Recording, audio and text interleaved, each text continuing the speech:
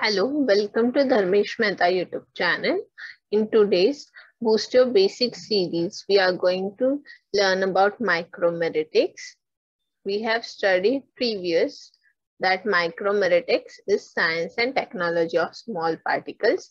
And today we are going to learn about flowability or flow properties of particles, which is a derived property. So let's get started. So angle of repose is one of the parameter which measures the flow property of a powder. So this is the apparatus you have seen in the lab, which is used to measure the angle of repose.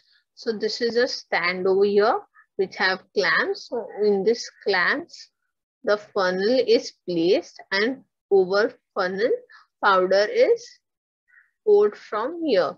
So a heap of powder is formed. So what is angle of repose? It is the maximum angle possible between the surface of pile of powder. So this is the surface and the horizontal plane. So this is the horizontal plane. So tangent of angle of repose that is theta is equal to the coefficient of friction mu. So if we are getting angle of repose that is theta, tan of theta will give us coefficient of friction. So how is tan theta or angle of repose measured? So now we are pouring a powder over the funnel and it is forming a hip. So we trace the hip and draw a circle. And from the circle, we get diameter, which is divided by 2 to get radius. Okay, measuring the height of this hip by scale. So now we are getting the angle of repose, right? Tan theta is equal to h divided by r, right? So this is the angle of repose theta. So, so this is the angle of repose that is theta. So tan of theta will be h by r. So how we are getting this? Tan theta is opposite upon adjacent. So opposite we have height of hip and in adjacent we have radius okay? So opposite upon adjacent so we get tan theta is equal to h by r. So theta is tan inverse of h by r. So in this way we are getting angle of repose in degree. Now we have got the angle of repose. So now we will determine the type of flow so here we have angle of repose in degree and here we have type of flow. If the angle of repose come between 25 to 30 degree, then the flow of powder is excellent. If it comes between 31 to 35, the flow of powder is good. If it comes between 36 to 40, it is fair flow and flow aid is not needed. So flow aid, that's talking about the glidants which are used to improve the flow property. Next, 41 to 45, the flow is plausible, but it may require the flow aid.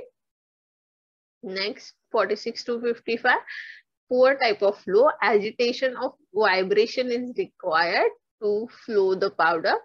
56 to 65, very poor flow, and over 66, very, very poor. Practice if flow of powder is above 55, they are not used.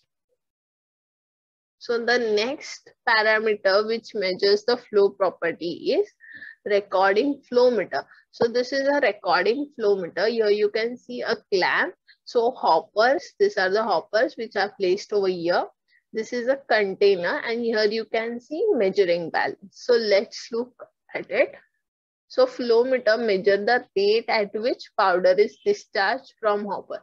So it is measuring the rate at which powder is discharged from this hopper into this container or onto weighing balance. So powder is allowed to discharge from the hopper or container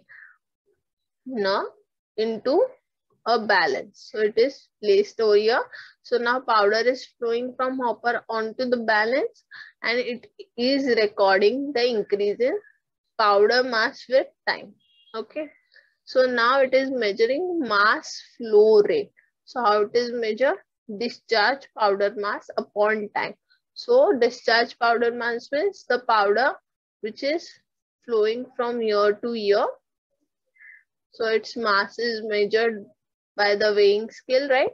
So its mass is measured and it is divided by time. So time which the powder takes to discharge from hopper into the container or onto the weighing balance. Okay. So, so recording flow meter is mostly used in the industries. Now we are going to look at the factors affecting the flow properties of powder. First factor is particle size and distribution.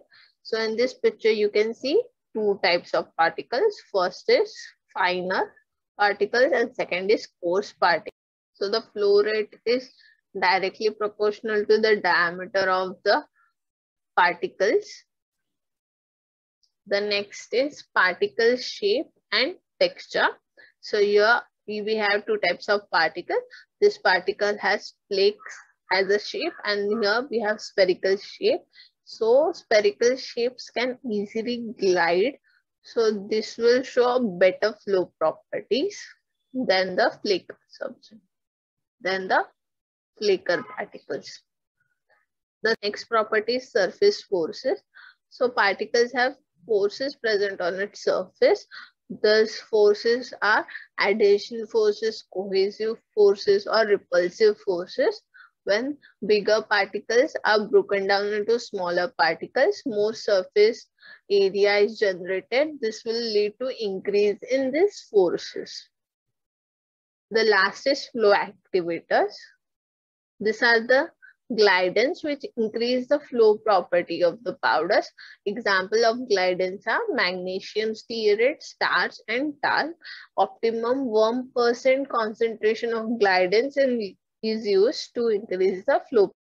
This is a question from this topic and the question is free flowing powder show a flatter cone and have options are smaller angle of repose, option B larger angle of repose, option C intermediate angle of repose, option D none of the above.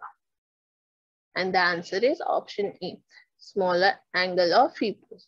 So the powder is freely flowing and it is showing a flatter cone.